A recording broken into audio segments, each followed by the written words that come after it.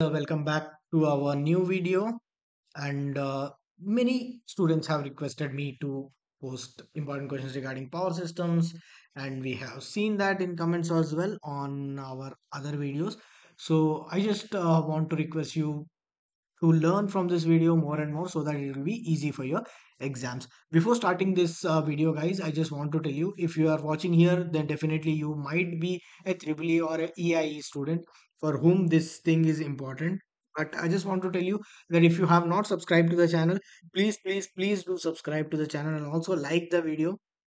And uh, we see that you know most of the people are watching the video but not subscribing. Please uh, it will motivate me. If you subscribe uh, once subscribe you know there is nothing to lose there. Please please do subscribe. And i also see that uh, the other branch students uh, videos are getting more shares uh, than triple students but uh, triple students are just neglecting. It feels really bad uh, for me that uh, what efforts i am making in making the videos but uh, it is not reaching to most of the people. So i just request you guys to share this video. I'm not complaining anything through these videos but uh, yeah if you share then that will be helpful for other students as well. In this video we are going to discuss about power systems one important topics for semester end exams r22 regulation but uh, before starting this video i just want to tell you the important topics and important questions depicted or represented in this video might or might not appear in the exams because it is difficult to analyze and predict the question paper with 100% accurately. No one can do that. And uh, we are making this video just to ensure that students will get a little help for their examination. Then this video is from our side so that students will feel a little easy when uh, I mean, like uh, preparing for the subject. So, without any further delay, we'll just uh, start the video. And please, please do subscribe, guys, if you're not subscribed. And also, if you're not uh, pressing the bell icon, then you will not receive the notifications. And there is a chance you might uh, miss the videos, and uh, later you will complain in comments that I have not made video on that subject, this subject. So, please do. Press the bell icon so that you will be updated about each and every video of ours. So coming to the first segment, which is syllabus, and uh, from unit one, you have convention sources, non-convention sources. Simple. Here, if you get this uh, uh, unit which is divided into two parts, then there is a meaning that one question from this topic and one question from this topic will definitely appear in the exam. So, what are the conventional sources? You know, conventional sources are hydropower station, steam power station, nuclear power station, gas power, gas turbine. So, these are abundant in nature, and uh, this will uh, vanish one or day. So, another one is solar energy, wind energy, fuel energy, ocean energy, tidal energy, wave energy. So, these are uh, these are also abundant in nature, but uh, this will this may not uh, be as care as the conventional sources. So, conventional and non-conventional.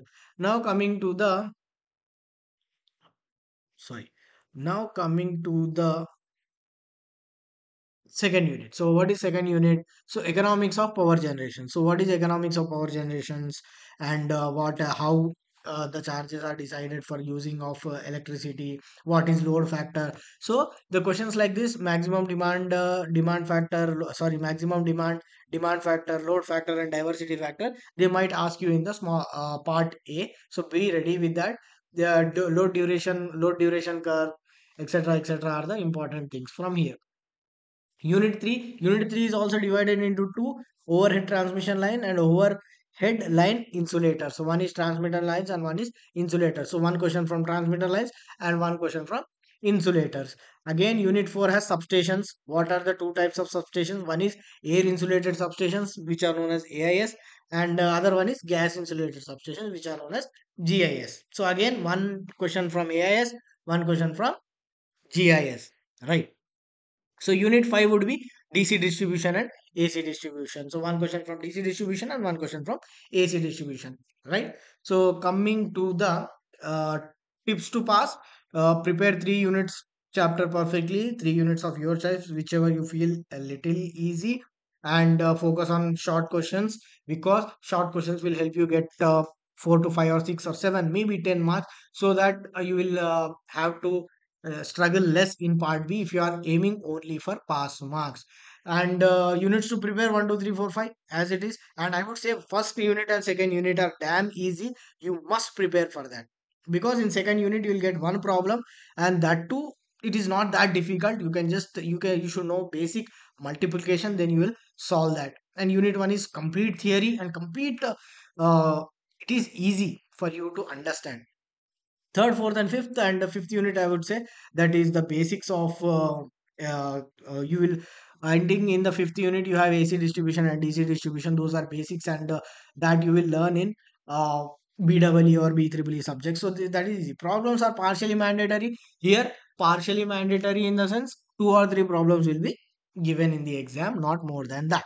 Okay? So you can expect. So one one problem i have already say, said that is from second unit. So one would be from third and one would be from fifth. So that would and if the question paper is easy then you will not have any problems. You will have full theory. So important topics for unit 1 types of conventional sources. In this in this conventional sources you have important what is uh, for example hydropower station and uh, nuclear power power plant and gas turbine plant and uh, types of non-conventional sources important are solar and wind. And uh, uh, in this also one theory question might appear as, uh, regarding energy conservation and storage. So in the second unit we in the important questions uh, thing we'll see the important questions. So before telling important questions if you want important questions of various subjects you can download exam update app which is readily available in play store and it is free to use. Okay please make sure you use the opportunity of using uh, exam update app which is on a play store okay uh, so draw the bar diagram of hydropower plant and the block diagram of steam power plant uh, so list out the main parts of reactor and base. So this is from nuclear power plant. This question explain power generation of gas turbine. Okay, you can explain here.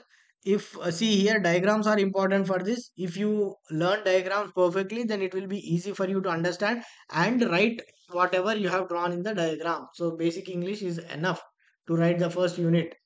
So when you see the diagram, you can just write it as it is and uh, you have explained the construction and working of closed cycle OTEC system and list out various importance of gas turbine. Explain dolphin type wave power machine. So these are the important questions from unit 1. We'll discuss uh, more important questions in the previous question paper segment which is at the end. So please watch the video till the end. Now coming important topics of unit 2. In unit 2 you have demand factor, load factor, diversity factor. These are just one mark questions maybe or they can ask for 5 marks. You are giving 5 different uh, things to derive and the cost of uh, electrical energy fixed fixed to customers. Here uh, I'm sorry for the typing error it is customer tariff on charge to customer and uh, base load and peak load plans. So what are base load plans when they will operate? What are peak load plans when they operate? So base loads are basically plants which operate on the normal load and peak loads are when the load is too heavy. So that's a simple explanation. Important questions of unit 2 would be importance of load factor, difference between demand factor and diversity factor, how the cost of electric electric energy is decided, explain explain load factor and load duration curve, problems of energy consumption. Okay.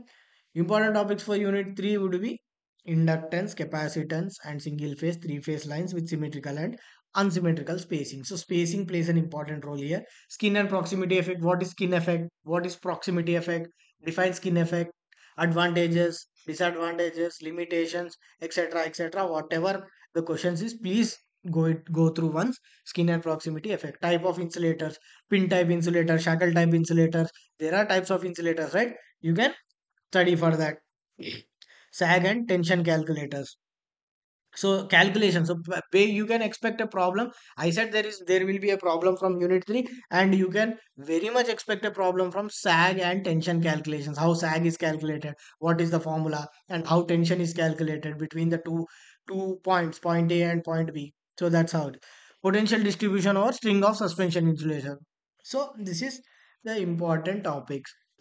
And if we use this and important questions these are so if you feel that i'm going a little fast you can take a screenshot of this. You can pause the video take a screenshot and come back and keep it handy for your exam preparation. Short notes on pin type insulator is an important question from unit 3 get detailed classifications of in- insulators. I mean what are the insulators? Pin type shackle type etc etc problems on capacitors on insulators. So either you will get a problem on capacitor either you will get a prob- uh, problem on insulator or the sag calculation. So these would be the problems from this unit. From important topics from unit 4 so how are the bus bar arrangements done in the substations? What are indoor and outdoor substations? Maybe advantages or disadvantages of uh, indoor and outdoor substation and single line diagrams of single line diagram of gas insulated substation it is a little easy once you can just uh, i mean it is lengthy but you know you can draw. Comparison of air insulated substation with gas insulated. Maybe in the various parameters you can uh, check with this uh, air insulated and gas insulator gas insulated substations. So we'll this one important questions again. Explain the factors should be considered by selecting a location for substation there are so many factors 11 or 12 factors there are you can just select anything what are the advantages and limitations of indoor substation what are the main equipment used in substation explain briefly GIS diagram of insulated substation. Okay, so these are the important questions. From unit 5, you will have voltage drop calculations. So as it is given in the syllabus directly, single phase, three phase and three phase, four wire. So there is a chance one question coming from this single phase or three phase or three phase four wire system. Basically three phase four wire system is a RYB phase and you will have a neutral phase. In three phase you will have only RYB phases connecting in the uh, star star one is star connection and one is delta connection might be Power factors refer to receiving end and with respect to load voltages. You will get a problem from this unit. That's for sure. And uh, these are the important questions. Requirements of a distribution system, a problem. And the ring main distribution system is uh, uh, re- really important. And also voltage drop calculations are also important. So prepare accordingly. These are the questions. And uh, so our next we'll move to our next uh, last segment, which is previous question paper. But before moving, I just want to know if you want uh, more important questions of various subjects. Please do let me know in the comments, and also please, please, please do share this video and uh, like, please like the video. So coming to the previous question paper. What are the previous question paper? From unit 1 what they have asked what is the use of air preheater in a steam power station? Functions of a moderator. You can write one or two functions. Define diversity factors. You just need to diverse uh, define diversity. What different types of tariff methods. See tariff methods is uh, really important. Uh, you will have two in this i think simply i'll tell that two tariff methods. One is part rate tariff and another one is power factor tariff you can write uh, two tariff methods of your choice what is the sag template define gmr on transition lines transmission lines what are different types of bus bar arrangement? Serial bus bar, parallel bus bars. You can write that. Give classifications of substation, indoor, outdoor. So you can write that. What is the need of power loss calculation in distribution system? Because whenever we uh, we have to know what is the sending end and what what is the receiving end voltage, so that we uh, we can maintain the efficiency. What is a ring main distribution system? So basically it's a ring and all the bus bars are connected in the ring. So and the power is supplied to the ring main distribution system. It is used in the rural area so that you can write. So this is simply explanation of part a. I have simply explained it and you can also explain like that and get more and more in the part a only. Now coming to the part b so as I said, unit one is easy. You will get basic questions. So explain the role and potentiality of solar power in India. So how solar power will develop and how this is important. You have to write that. Explain the concept of how ocean energy is produced, how we can produce. So this is also a theory thing. Draw a typical layout of thermal power plant and explain. So thermal power plant you need to draw and explain as many as uh, components as you want. Yeah, because this is a 10 marks question, you have to write it a little lengthy. Explain two-part tariff method and compare it with the power factor tariff. See, this is the tariff methods. In this, you have to explain two ta- two part tariff method. I mean, like there are two parts in this. Uh, one for so and so units, one for so and so units, etc. And compare it with the power factor. Whenever the power factor is high, the bill will be low. Whenever the power factor is low, the bill will be high. So this is the uh, basic understanding of power factor tariff. And two part tariff is basically a, a tariff is divided into the so and so unit and so and so unit. So from 0 to 100, one there will be a one rate, 100 to 200 there will be one rate. So that is how this will be. Again, a problem. I said a problem you might expect from unit 2. A generating station has connecting load of like 23 megawatts and uh, demand is 20, me- 20 megawatts. So you can just calculate the demand factor and load factor here. Now coming to importance of load curve in a generation system. This is also from unit 2. Again, a unit 2 you ha- they have asked about a problem which is like uh, tariff calculation. For example, a factory maximum load, load is 240 kilowatts at 0.8 power factor lag with an annual consumption of 50,000 units. So they are conver- using 50,000 units and they are asking to color. You if you add here, uh, sorry, multiply here, you will get the answer. It is basically simple math. So what will be the annual ca- savings if PF is raised to unity? That's it. One you need to do it uh, 0 0.8, one you need to do it 1. So the difference will be the savings. Simple. What do you understand by grading of insulators? That's uh, first point. And uh, find out the capacitance of a single phase line, 30 kilometers long. There is a uh, capacitance of a single phase line, a long uh, consisting of consisting of two parallel wires, 15 mm diameter and 1.5. So this is a problem based on capacitance. Okay, what are bundle conductors? Yeah, so discuss the advantages of bundle conductors when they are overhead lines. Explain the different types of insulators used in transmitter lines. Okay. Explain constructional aspects of gas insulated substations. Again, one question from insulator. Indoor and outdoor substations. Discuss how the site is one question from subja- substation again and one question from bus bar arrangement, main and transfer bus bar. In fifth unit, I said you will get a problem that is from distribution uh, system. So you just prepare problems like this and explain in detail the classification of distribution systems. And 11th thing is explain the design features of DC as well as AC. So design system is a direct 10 marks question. It will be lengthy, but uh, you can answer. So we have done all the breakthrough of your syllabus and your um, previous question paper. I hope you have liked this video. Please, please, please share it with your friends who are writing this exam in the coming days. So it will be very beneficial for you. And uh, until then, please subscribe to our channel and also like the video. Until then, I'll take take rest and uh, you people prepare well for the exam. And uh, I would wish all the best for your exams. And please, please, please stay connected. And if you have not followed us on social media, links are given in this description box. Please do follow. Okay. Until then, bye. Take care. All the best.